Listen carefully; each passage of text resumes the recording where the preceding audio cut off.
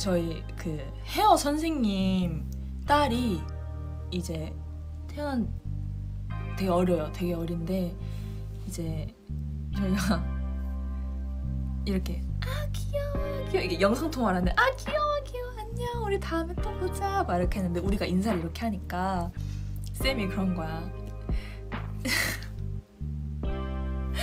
이모들한테 인사해야지. 이모들한테 인사해야지. 이렇게 해가지고. 저 이모요? 제가 이모라고 했더니 이모지. 이 정도 차이 나면 이모지. 그렇게 해서 저희가 그 기준이 그렇게 됐거든요. 그래서 저희는 사실 계속 막 당연히 언니라고 생각을 하고 안녕 다음에 언니랑 놀자. 막 이렇게 얘기하려고 했는데 아, 근데 진짜 저보다 어린 팬들 다현이 또래 팬들 만나면 진짜 귀여워요. 되게 예전에 다현이랑 동갑인 팬들이 몇 명 왔었는데 진짜 귀여워했거든요. 안녕. 오늘 학교 갔다 와서 교복 입고 있더라고. 교복 입고 와가지고.